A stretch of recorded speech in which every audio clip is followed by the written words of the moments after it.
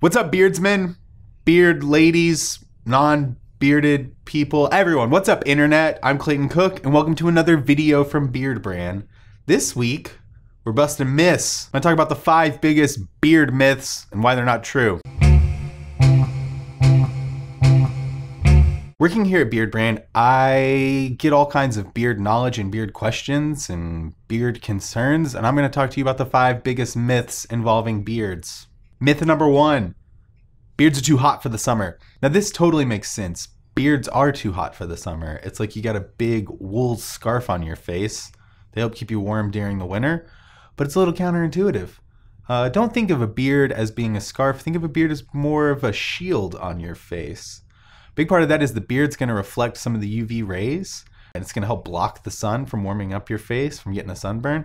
The beard also works as kind of this evaporative cooling thing. It's going to help lock in the sweat as it's uh, as your sweat starts to evaporate and you get a little breeze through there. It's going to actually help cool your face down. So it turns out beards are doing the opposite. They're going to help keep your face cool in the summer and warm in the winter. Beard myth number two: itchy beards. Oh, the itch.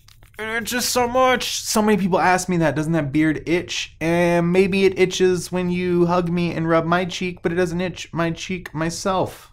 Um, now, while it might be true when you're in the early stages of beard growth, stubble can be a little itchy, but that's stubble, not really a beard, and it's a thing that's going to just last about a week or two, sometimes even less. Some people don't even have itchy stubble. Part of the way to combat that is just beard oil.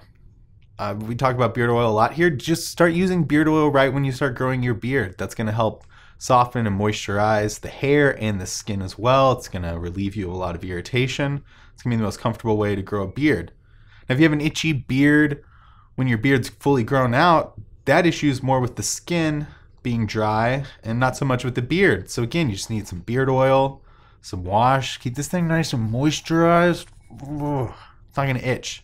The third beard myth that your beard should grow all at the same length in a uniform length. No, it's ridiculous.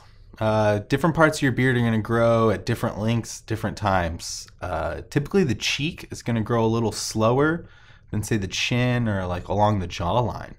Um, a lot of people early in their beard growing journey, they won't they won't like how uneven it's growing in, and so they get a couple of weeks in, maybe two or three weeks in, and then they're done with it. They shave it off because it doesn't look good.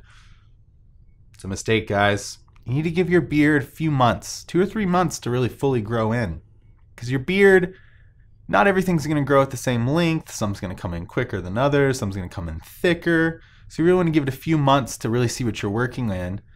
And then to have that nice, even uniform cut, once you've grown it out, you can go back in, trim off some of those longer hairs so they're matching the shorter hairs. They're to be looking great. So don't expect it all to grow in the same length at the same time. Okay. We don't all look like sexy Spartans in week two. Beard myth number four the best beard is a full beard. This is something that I noticed in the comments section or with emails I get regarding people's beards and how they're growing in, or we're kind of we're we're measuring beards. And boy, do the guys with the big full long ZZ Top mainly beards think they have the best ones. And they do have some great beards. But the best beard is not a full beard. The best beard is the beard that you love. Not everybody wants a full beard. Some people just want to rock a mustache. Some people just want a goatee. Some people want sideburns. Some people want mustache that grows into sideburns. Some guys like long beards. Some guys like short beards. Some guys like beards that they can grow in different directions and braid into Viking beards. It doesn't matter. Uh, everyone's beard is going to grow different. No two beards were created equal unless you're biological twins and you grow the exact same beard, then maybe they're created equal. But everyone has a different face, everyone has a different beard, a different style, a different look they're going for. So the best beard is really whatever beard makes you feel the most confident, the most comfortable, and the happiest with how you look. Beard myth number five beards are dirty. This is not true at all. Seems to make sense like the others. It's very with a beard, it's dirty, right? It's going to catch all this nasty stuff. It's, it's it's got fungus in it. There was some internet article about how beards collect fecal matter. You got poop in your beard.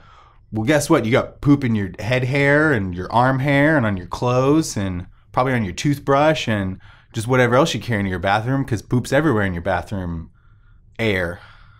So don't worry about it. Everything's dirty. Your beard's dirty, your hair's dirty. If anything, a beard is just going to help filter out some of that stuff and it's going to be healthier and cleaner for you because you're not breathing in all the poop it's getting stuck in your beard. And maybe we don't want to talk about that because that's gross. So just wash it. Just wash your beard. If you wash your beard regularly, like you're washing your hair, or you're washing your teeth, you're washing your clothes, you're going to keep it clean and healthy and nice. So beards aren't any dirtier than anything else. We're humans. Everything's gross and dirty, but we clean it and we wash it. That's what washing stuff is for. So get some beard wash, some beard softener, some beard oil, shampoo it in the shower, get it nice and clean, and you don't have a dirty beard. You have a clean beard.